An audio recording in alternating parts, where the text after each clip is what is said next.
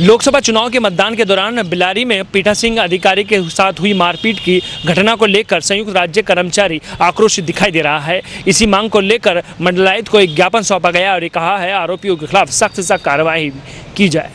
मुरादाबाद लोकसभा चुनाव के मतदान के दौरान पीठा सिंह अधिकारी के साथ मारपीट का मामला तूड़ पकड़ता जा रहा है। बुधवार को राज्य कर्मचारी संयुक्त परिषद ने मंडलायुक्त को ज्ञापन सौंपा है, जिसमें मांग की गई है कि आरोपी के खिलाफ सख्त से सख्त कार्रवाई की जाए। लोकसभा चुनाव के मतदान के दौरान बेलारी में पीठा सिंह अधिकारी के साथ राजनीतिक पार्टियों के कुछ सदस्यों ने मारपीट की, जिसका वीडियो सोशल मीडिया पर वायरल किया गया, जिसके बाद सभी में हड़कंप मच गया और सभी का ये कहना है कि आरोपी के खिलाफ सख्त से सख्त कार्रवाई होनी चाहिए। बुधवार को राज्य कर्मचारी संयुक्त परिषद ने मंडलायुक्त को ज्ञापन सौंपा है, जिसमें मांग की गई है कि आरोपी के खिलाफ सख्त से सख्त कार्रवाई की जाए।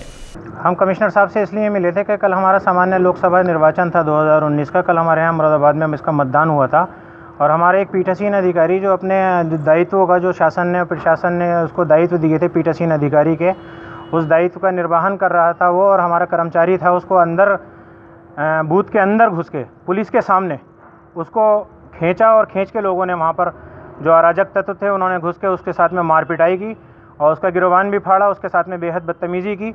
उसी का विरोध करते हुए हम सरकार से भी मांग करेंगे कि ऐसे लोगों को चिन्हित कर कर उनके खिलाफ़ कार्रवाई करें और हमारे जो है प्रदेश स्तर पर हमारी बात हो गई है। हम ये चाहते हैं कि हमारे जो पीठासीन अधिकारी है, जो एक सरकारी कर्मचारी है, उसकी सुरक्षा भी होनी चाहिए। उसके ऊपर प्रशासन की तरफ़ से वहाँ पर एक अनावश्यक दबाव भी पड़ रहा है। कि वो अपना सब कुछ वापस ले ले और हम पूरा राज्य कर्मचारी संयुक्त परिषद आदरणीय हरिकिशोर तिवारी जी के नेतृत्व में यहाँ पर एक है इकट्ठा हुआ है और उन्हीं के निर्देश पर हम लोग यहाँ पर आए हैं।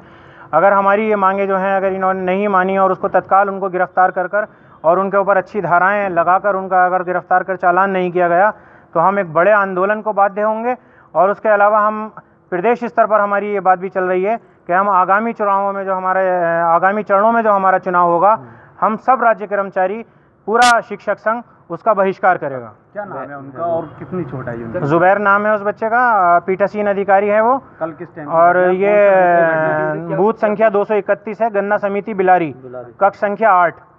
में पीठासीन अधिकारी के रूप में कार्यरत था वो और जिन्होंने इनको मारा है? मतलब क्यों मारा गया है मतलब?